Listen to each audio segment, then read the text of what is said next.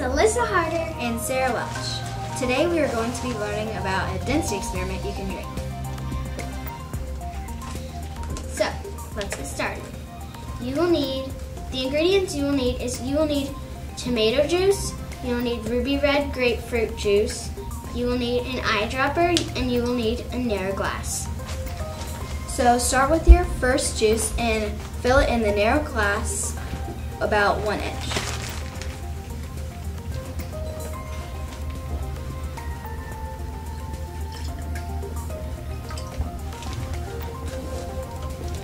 Then take your eyedropper and use some of the other juice and pour it down the sides of your glass.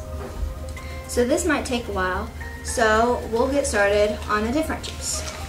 So we have apple juice and orange juice, and we're going to fill the narrow glass with orange juice first, about one inch. And then we are going to add the apple juice.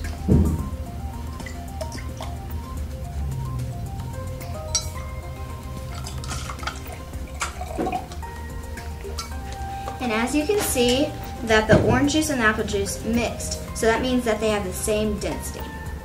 And that means that they have the same sugar grams and they're going um, to not separate. So over here, they are separating.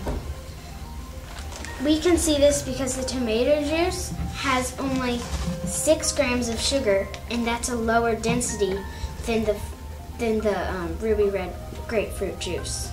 You can see that because this has six grams, and the ruby the ruby red grapefruit juice has 20 grams of sugar. So the greater went at the bottom, and the less went to the top. Thank you for learning about density. Remember, it's a density you can drink. Cheers!